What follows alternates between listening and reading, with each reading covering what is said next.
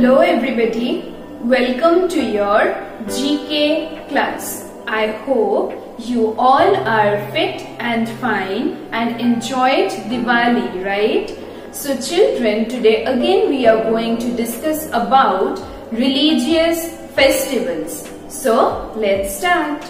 So children, in our previous classes, we have already discussed about six religious festivals. Those were Durga Puja, Diwali, Christmas, Holi, Pongal and the last one was Eid al-Fitr.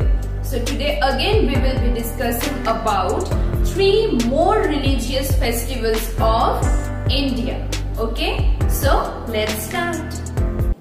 So children, the first religious festival today we will talk about is Janmashtami. It's Janmashtami.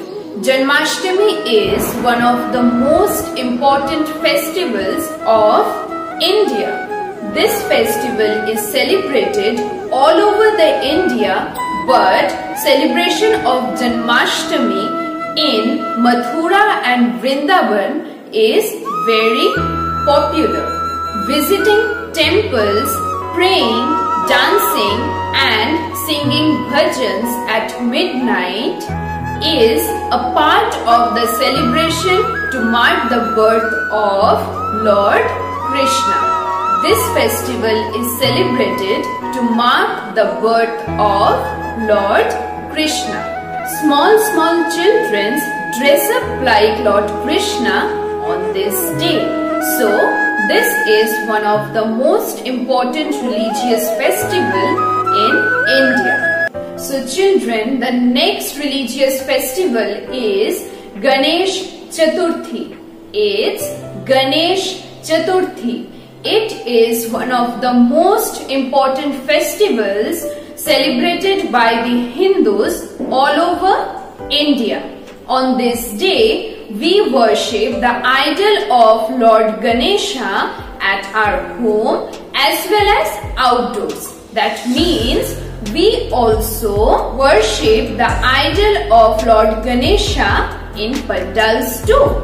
Pujas are performed in the morning as well as at night. And the last day is the day of Visarjan. That means on the last day we immerse the idol of Lord Ganesha in the water.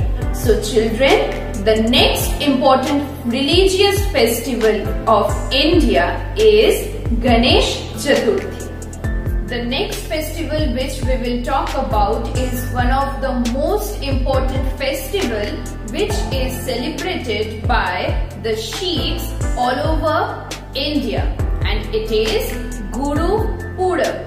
It is Guru Purab. It is celebrated to mark the birth of Guru Nanak who is the founder of Sikhism and also his nine followers. Okay, this festival is celebrated on the full moon day in the month of Kartik. The Gurudwaras are decorated with beautiful flowers. So now you must be thinking what is a Gurudwara? A Gurudwara is a place where the Sikh people go to pray. The Sikh peoples go for pray. So, Gurudwaras are decorated with beautiful flowers. Langars are also served on this day too.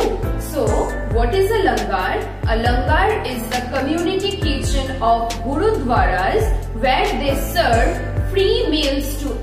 anyone and everyone regardless of their caste, religion and gender. So children, the last religious festival today we have known is Guru Purab. So today we have known three more religious festivals of India. So children, I hope you all have understood. So that's all for today. Have a nice day. Take care. Bye bye.